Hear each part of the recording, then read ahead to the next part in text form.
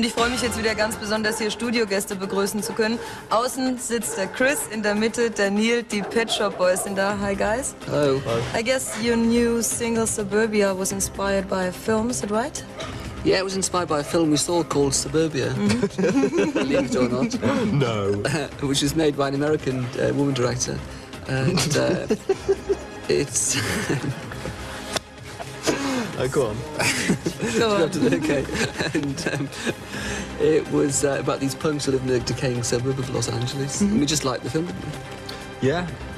Also tatsächlich ist die neue Single Suburbia von einem, also sie, sie haben sich inspiriert gefühlt von einem Film, der in Amerika gedreht wurde. Und da ging es wohl um Punker-Klicken in irgendwelchen Vorstädten und beiden hat der Film gut gefallen. Ich weiß allerdings nicht, warum sie so darüber lachen, aber vielleicht erklären sie uns das später.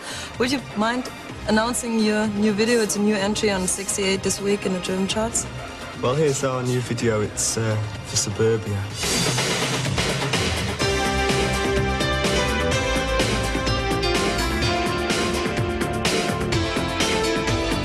Nach der aktuellen Nummer 11 aus unseren Charts ist jetzt eigentlich die Zeit gekommen, die Pet Shop Boys noch mal kurz zu befragen zu deutscher Popmusik.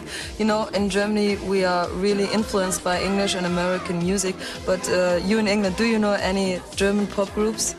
Well, I like Kraftwerk. Kraftwerk? Yeah, I think they're good. You, Chris? Yeah. Um, I like. I like modern. Ich, glaub, ich glaube, das hätte Modern Talking werden sollen. Das haben sie mir nämlich vorhin schon erzählt, dass sie Modern Talking gut finden. Aber thanks for being here. I mean, it was very amusing, I guess. Haben sich hier schwer amüsiert. Ich freue mich auch, dass Sie da gewesen sind, die Pet Shop Boys. Wir kommen zu den deutschen Top 10.